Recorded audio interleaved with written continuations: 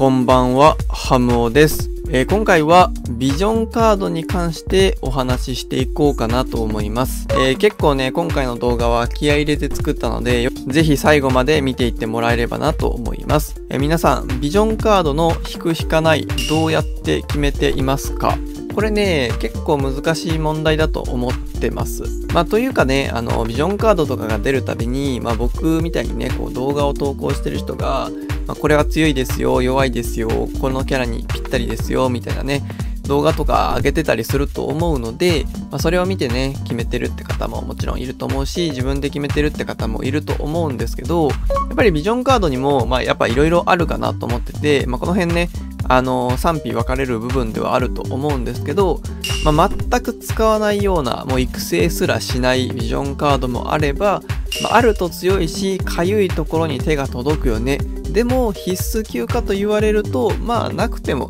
それなりに戦えるよねっていうやつから、えー、このビジョンカードがないととてもじゃないと、えー、何々パーティー組めないみたいな、まあ、必須級のビジョンカードまでいろいろねあると思うんですよね。このゲームをプレイしていく上で、えー、キャラクターよりもビジョンカードの方が、まあ、重要と言っても過言じゃないほど、まあ、ビジョンカードでね、長く使えるものになるし、どれだけキャラクターが、えー、揃っていても、ビジョンカードがないと弱いよねっていうぐらいまでなってしまうので、かなりね、ビジョンカードの選び方って重要だと思うんですよ。まあ、そんな中、まあ、僕自身もね、自身でプレイしていて、ビジョンカードを選ぶの失敗したくないし、えー、皆さんにも失敗してほしくないので、まあ、こんな感じで、ま引かないと後悔するものだったりとか、えー、コラボのタイミングでこれが強いよだったりとか、ま3周年で確保の優先度ランキングだったりとか、まこういったね、動画を作って後悔しないような選択肢ができるような、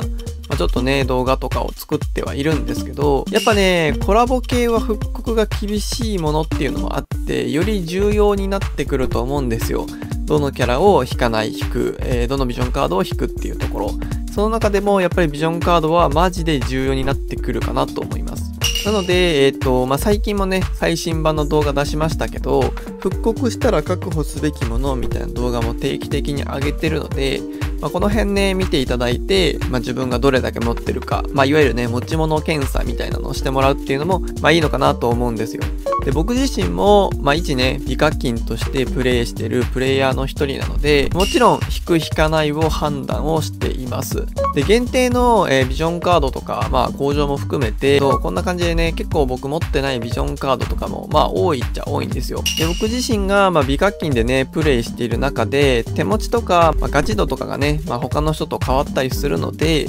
その辺でね、ちょっと何とも言えない部分はあるんですけど、個人的に今のとこプレイしてて、引かなくて後悔したビジョンカードってほぼないんですよ。割とね、あの自分自身の判断は、まあ、手持ちにね、左右される部分はあるんですけど、まあ、正しかったなと思えることが多いんですよ。たった一つを除いてというところなんですけど、まあ、僕のね、あのー、Twitter とかフォローしていただいてる方は、まあ、察すると思うんですけど、こちらですね、えー、ハガレンのコラボのビジョンカード、兄弟の絆を信じるものっていうブグ VC があって、えー、槍、拳、杖、同士などに使えるんですけど、まあ、これを引かなかったことを、まあ、過去一で後悔してる。というか、もう本当にこれが入手できるんだったら、全然課金するよっていうぐらいには、まあ一番後悔してるし、ミスったなっていう、まあ唯一のミスだなっていうぐらい、まあ、後悔してるんですよね。という話をしてて思い出したんですけど、これも結構後悔してるんですよ。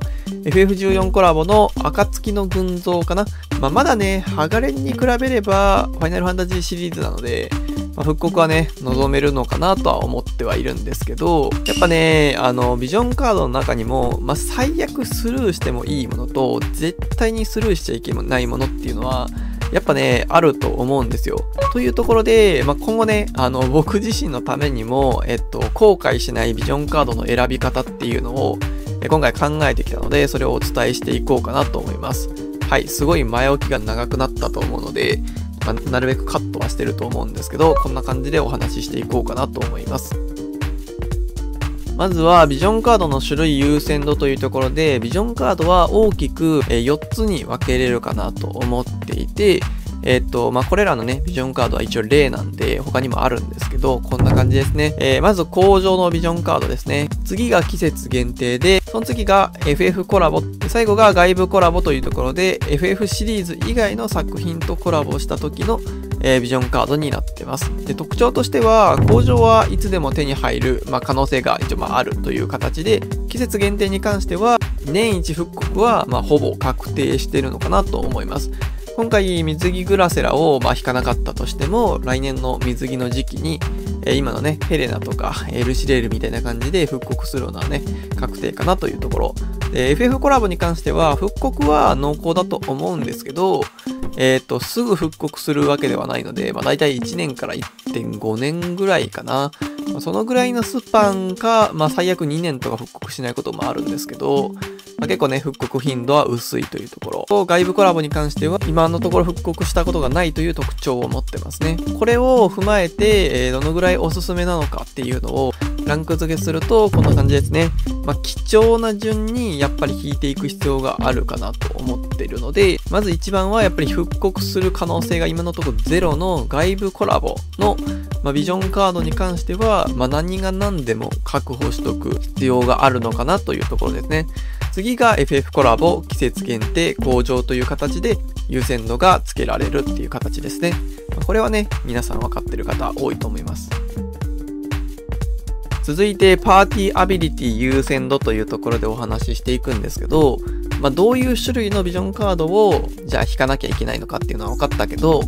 まあ、効果が重要よねっていうところで、あの、まあ、どんなパーティーアビリティをね、引くべきかっていうお話なんですけど、パーティーアビリティの種類ってめちゃめちゃ多いと思うんですよ。特にブグ VC が出てから、ブグ VC にしかないパーティーアビリティっていうのも増えてきているので、こうどう優先度をつけていくかっていうのが結構難しい部分ではあるのかなと思うんですよね。まあ、やっぱりね、幻影戦争ってカスタマイズとか楽しむゲームだと思うので、まあ、そこをね、考えるのが楽しい部分ではあると思うんですけど、まあ、どうしても、えー、初心者の方だったりとか、ライトユーザーの方からすると、ん何のアビリティをこうメインにつけていいのかわかんないみたいなね、方も多いかなと思うんですよね。というところで今回は、えー、僕なりにメインとサブそれぞれの、えー、パーティアビリティの優先度っていうのを紹介していこうかなと思います。もちろん状況とかキャラクターによって多少変わることはあるんですけど、大まか参考にできる内容かなと思ってます。では、メインビジョンカードのパーティーアビリティ優先度を見ていくんですけど、こんな感じですね。SS が攻撃魔力、素早さ、単体耐性、範囲耐性、〇〇貫通アップと、まあ、一応カッコで運アップ、回避アップ、命中アップという形にしてあります。で、カッコにしてあるのは、まあ、いわゆる普通の王道の編成を作る場合は、運アップ、回避アップ、命中アップ、積まないことがほとんどです。ただ、えー、カッコで一番上に置いてるのは、例えば回避パーティーみたいな、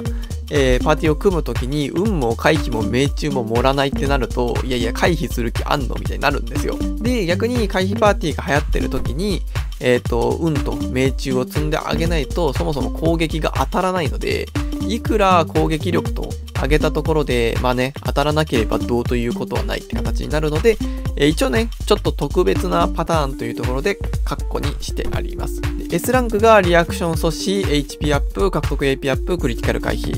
A が弱体抵抗、〇〇時1キラー、エレチェ耐性、〇〇耐性、〇〇属性耐性、クリティカルダメージアップ、クリティカル発生率アップ、えー、〇〇攻撃アップ、えー、〇〇属性アビリティアップというところですね。で、B が、えー、それら以外のパーティーアビリティという形になってます。S ランクに、えー、と載せてあるパーティーアビリティに関しては、と能力だけで言うと SS レベルなんですけど、えこれらの4つのパーティーアビリティはサブにしても、えっと、減衰率がちょっとね、柔らかいというか優しいんですよね。なので、半分以上効果が発揮するので、SS の方が優先度高いかなというところで S に下げてるという形ですね。まあ、正直、最近の環境だと、リアクション阻止を積んでないパーティーは、結構ね、弱いと感じることが多くなってきたので、リアクション阻止はメインでは SS じゃなかったとしても、メインかサブどちらかにはほぼほぼつけた方がいいと思ってもらえればなと思います。でこれらのランク表から、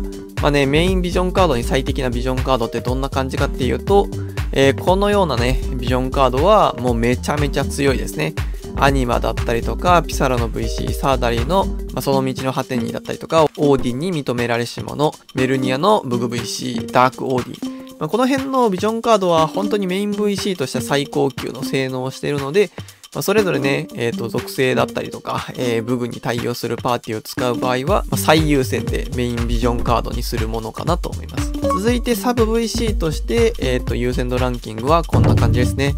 基本的には変わらないんですけど、えー、黄色で、えー、下線を引いた部分だけが変わっています。リアクション阻止 HP アップ、獲得 AP アップ、クリティカル回避は SS に昇格。えー、素早さは S に落ちて、エレチェ耐性が S に上がる。で、単体耐性、範囲耐性が SS から A に落ちるというところになってます。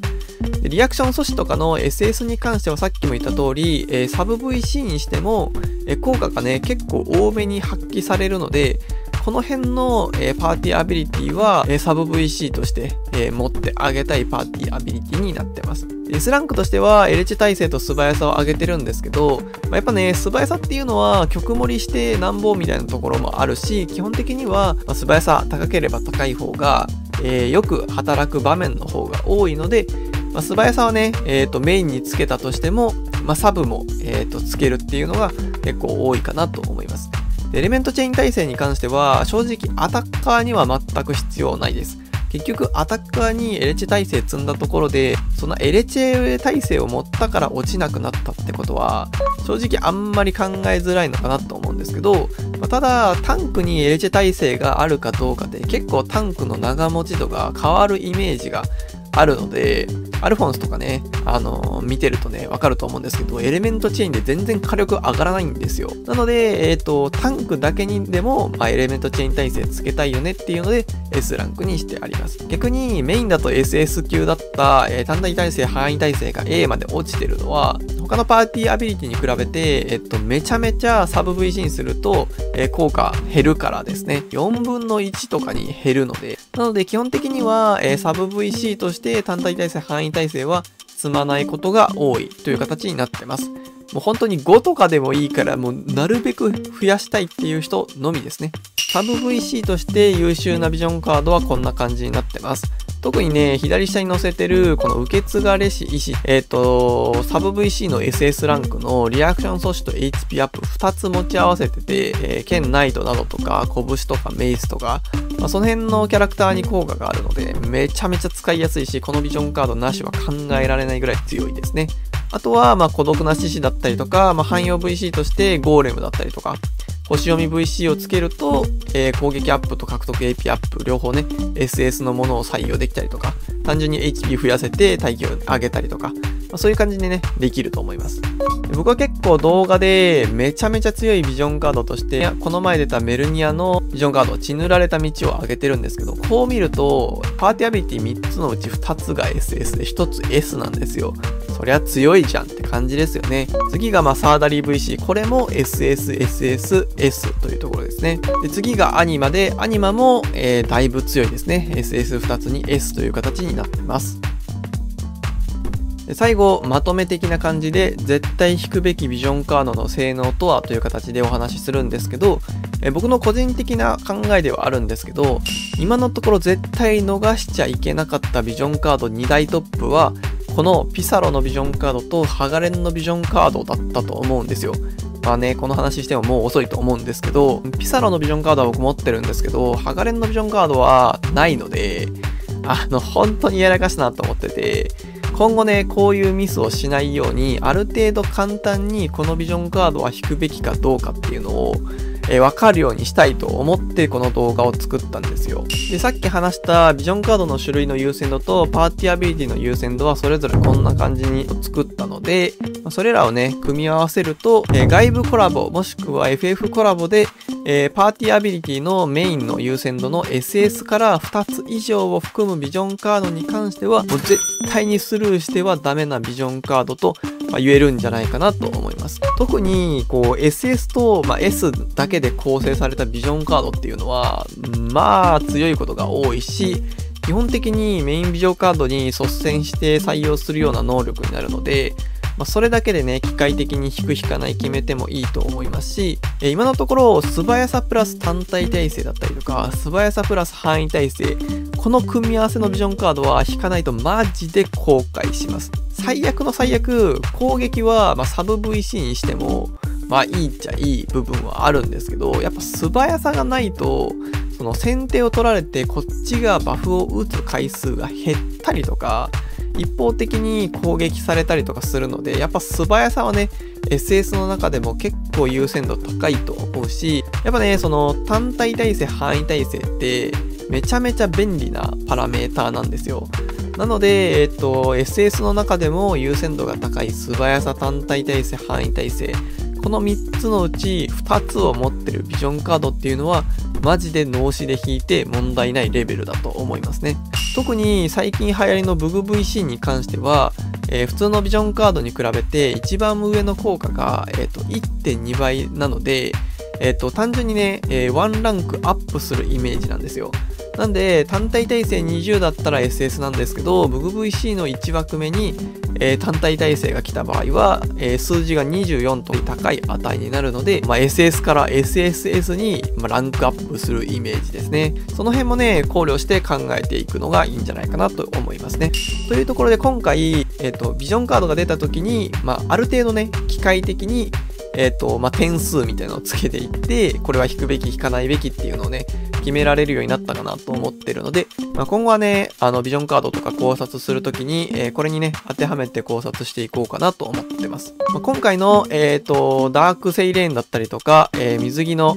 ビジョンカードに、まあ、これのね、法則を当てはめると、えダークセイレーンは工場のビジョンカードで素早さ15%、物理攻撃時1キラー13、え打撃耐性15というところになってて、えー、素早さアップは SS なんですけど、他に関しては A2 つ。工場のビジョンカードなので、まあ、優先度は一番低いというところなんですよね。で、水着 VC に関しては季節限定なので、まあ、優先度はちょっと高めで、えー、ブク VC になるので、範囲耐性24で SSS。獲得 AP アップは S。弱体抵抗は A というところで、SS から2つ以上はないんですけど、SS が1ランクアップして SSS になってるので、僕の個人的な判断としては、まあ、ダークセイレンはすする、え、水着ビジョンカードは引くべきというところで、え、この前裏でこそっと引きました。無事天井だったんですけど、まあ、それでもね、後悔はないって感じですね。はい、というところで今回は終わろうかなと思います。今回は、えー、絶対に後悔しないビジョンカードの選び方というところでお話ししてきたんですけど、いかがだったでしょうか？このゲームは、やっぱね、その、ビジョンカードとかの重要性が高い割に、え限定品で人権レベルのビジョンカードバチバチ出てくるので、こう選択肢をミスると、その属性組めないよねレベルのものが結構あるんですよ。まあ、無課金でね、プレイされてる方は、やっぱね、難しい部分はどうしてもあると思うんですけど、ある程度ね、課金してもいいから、その絶対にこう後悔したくないって方であれば、まあ、今回ね、説明した法則に当てはめながら、えー、考えていただければ、まず後悔することはないんじゃないかなと思ってるので、良ければ参考にしていただければなと思います。よければ高評価、チャンネル登録、Twitter フォローもよろしくお願いします。ご視聴ありがとうございました。